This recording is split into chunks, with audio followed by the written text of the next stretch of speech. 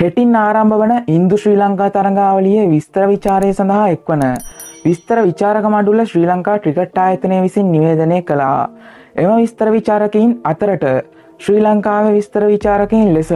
Russell ආනෝල් සහ රොෂාන් අබේසිංහත් ඉන්දියාව විස්තර විචාරකයින් ලෙස චාරු ශර්මා සහ මුරලි කාර්තික් යන විචාරකින් මෙන්ම දකුණු අප්‍රිකාවේ HT ඇකර්මන් යන විස්තර විචාරක මහත්තුරුන් හෙට තරගේ සිටම විස්තර විචාරයෙන් දායක වනු ඇත. මේ අතර ශ්‍රී ලංකා කණ්ඩායමේ වත්මන් උපනායක ලෙස කටයුතු කරන දනංජේද සිල්වාගේ ඉස්කෑන් පරීක්ෂණවල ප්‍රතිඵල සාමාන්‍ය වී ඇති අතර ඔහුට ඒ අනුව